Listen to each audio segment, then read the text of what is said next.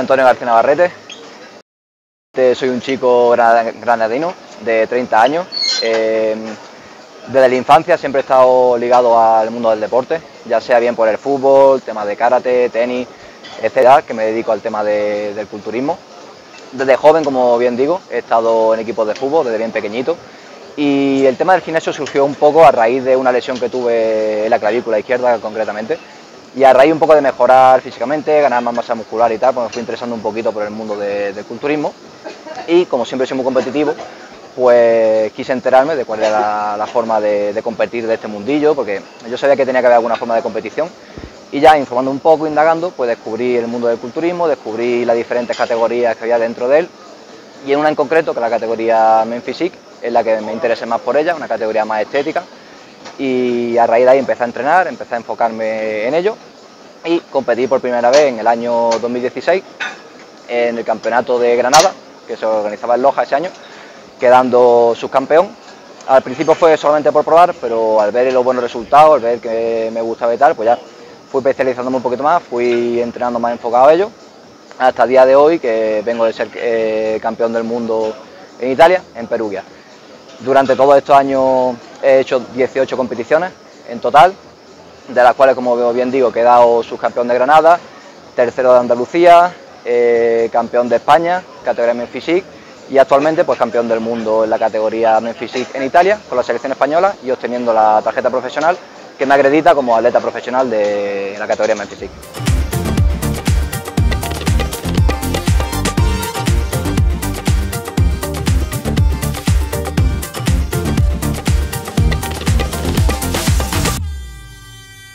Actualmente en Granada estamos dos atletas profesionales, que somos aquí de lo que es la, provincia. Está mi compañero Alejandro Peralta, que es de, Churriana, y yo, que vivo aquí justamente en Granada Centro. Somos los dos atletas a nivel profesional que competimos representando a la, provincia. Eh, sí que es verdad que hoy en día está cada vez más en auge, hay más competidores a nivel amateur y tal, pero que es representando la parte profesional estaríamos nosotros dos. Eh, dentro del culturismo natural, que es la federación que nosotros competimos, que es la AFN, ¿vale? Eh, normalmente anualmente suele haber varios campeonatos, de los cuales destaca sobre todo el Campeonato de España, que es el más, importante, y luego los campeonatos internacionales con la selección o el Campeonato de, Europa. Suele ser lo que más eh, nombre tiene a nivel de conocimiento de la gente.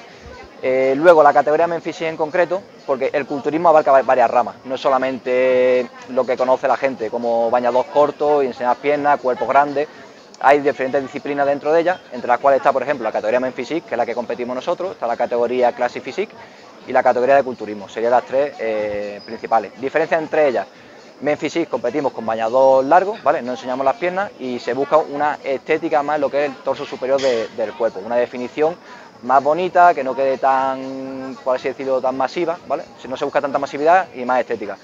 La categoría Classic Physique, ya estaríamos hablando de un bañador tipo Bose, se acorta un poquito más y lo mismo, también se busca la estética, pero con la diferencia de que se añaden también las piernas. No buscan un tamaño excesivo, pero sí que se busca una definición acorde con la, masa muscular que se lleva. Y luego la categoría de culturismo, que ya sería un poco, por así decirlo, más los pesos pesados, más bañados cortos, eh, más tipo lip, y ahí lo que ya se enseña las piernas, se busca masividad, cuerpo más grande, más fuerte. Suele ser una categoría que llama bastante la atención, pero de cara a la gente a lo mejor no es tan llamativa como la categoría de Memphis, que suele, como lo digo dicho antes, buscar más la, más la estética lo principal dentro de esta categoría, lo que más destacaría yo sería el cuidado que llevamos en nuestro día a día con el tema de la alimentación, tema del entrenamiento, son cosas que no se ven porque al final cuando te subo a un escenario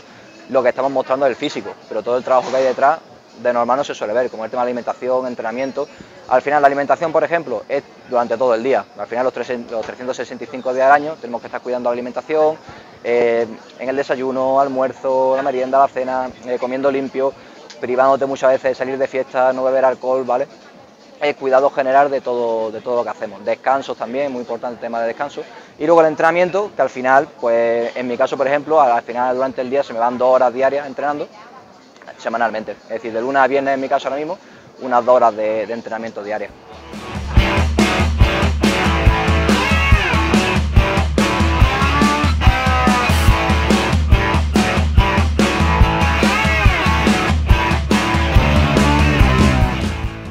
Actualmente con el tema de la Federación de Culturismo hay un poco de controversia con el tema de, que está muy metida la sociedad de que para competir en culturismo hay que utilizar sustancias anabolizantes. En concretamente, en esta federación en la que yo compito, en la ACN,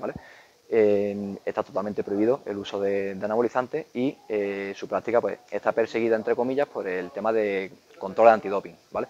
Siempre cuando vamos a competir en esa federación tenemos que firmar un, acuerdo en el cual estamos sometidos a esos tipos de controles y en caso de que pillen a alguien dando positivo está sujeta a sanción y como económicamente. ¿vale? En, mi caso, por ejemplo, este año en el Campeonato de España y en el Campeonato del Mundo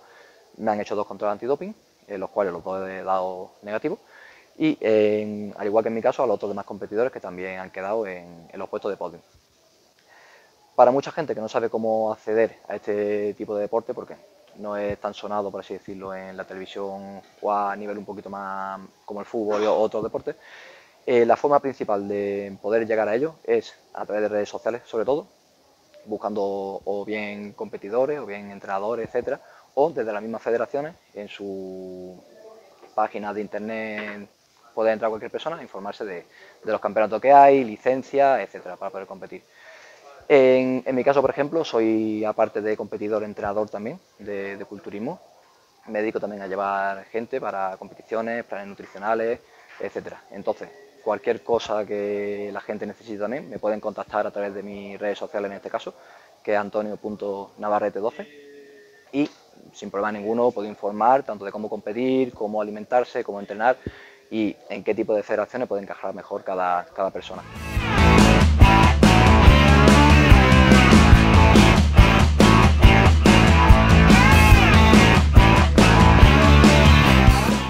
Una cosa muy importante dentro de lo que es el mundo de la competición, ¿vale? Es buscar gente que esté bien formada para, para ello, a la hora del entrenamiento, de la nutrición, etcétera. En mi caso, para que me conozcáis un poquito más, eh, yo soy, bueno, tengo un grado superior en actividades de físico y deportiva, tengo un grado superior en dietética y nutrición, la carrera en este caso de magisterio con la especialidad de educación física y actualmente estoy opositando para mm, Policía Nacional, para ser Policía Nacional. Eh, como proyectos futuros que tengo, aparte lógicamente de conseguir entrar dentro del Cuerpo Nacional de Policía, dentro del ámbito competitivo, pues me estoy preparando para el año 2025, durante el cual todo 2024 quiero hacer una etapa de volumen, en la cual consiste un poco en ganancia de masa muscular, y ya en 2025 entrar de cara al Campeonato de Europa, que se prevén según fecha que sea sobre mayo o junio del año 2025, como digo, y luego en la segunda temporada, que estaremos hablando de noviembre del mismo año, el Campeonato del Mundo. Actualmente no se sabe dónde se van a celebrar ambos campeonatos, se suele decir siempre a principio de, año, pero eh, el objetivo principal sería ese, intentar ganar a nivel profesional Campeonato de Europa y Campeonato del Mundo.